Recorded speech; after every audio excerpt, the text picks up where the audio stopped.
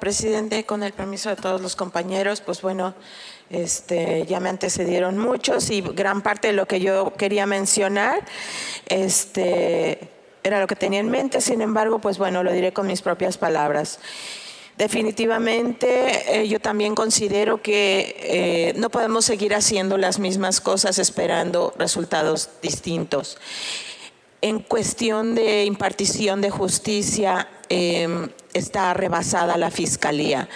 No existe la justicia en el Estado y la ciudadanía eh, se siente muy lastimada, se encuentra muy enojada y estamos en deuda con ellos. Definitivamente considero que dentro de la legislatura estamos haciendo lo propio, pero si los demás poderes son ah, insuficientes, pues no se logra mucho.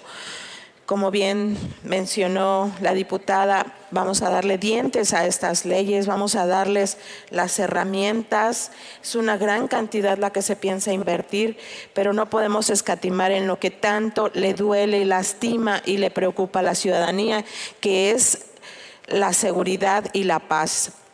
Em, en pasados meses una, eh, servidora presentó una iniciativa precisamente em, relacionada con solicitar una, una fiscalía, eh, una mesa coordinadora de la Fiscalía especializada en crueldad y maltrato animal.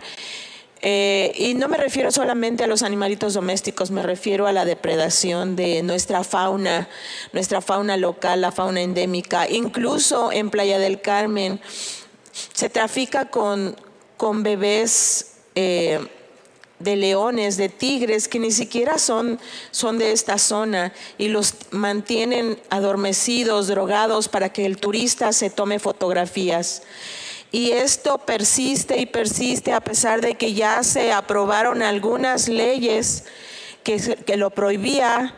Sin embargo, algo que sí quisiera mencionar y que creo que vale la pena es que existen instancias federales dedicadas a esta eh, procuración de justicia, a esta supervisión y esas instancias no están haciendo su trabajo, por mencionar Profepa, Semarnat y, y hay otras más. O sea, son, son eh, ausentes completamente, nadie sabe en dónde están, ni cómo trabajan, ni quiénes son, nunca están presentes. Entonces seguimos teniendo este tipo de problemas, ya ni hablemos de las devastaciones, del trato de la tierra, o sea, son muchos los problemas. Estoy precisamente viendo em, el decreto y son varias fiscalías.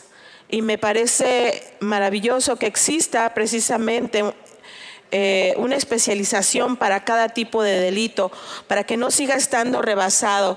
Lo único que a mí me gustaría es que nosotros estemos muy, muy pendientes de que los recursos sean aplicados y, que, y de que efectivamente esas fiscalías especializadas estén bien establecidas, coordinadas y trabajando, que no se siga con los viejos vicios, de maltratar a los denunciantes o de invitarlos a desistir con las denuncias, eh, que se obtengan verdaderamente resultados y se logre el cambio tan anhelado que todos merecemos y por supuesto deseamos. Es cuanto.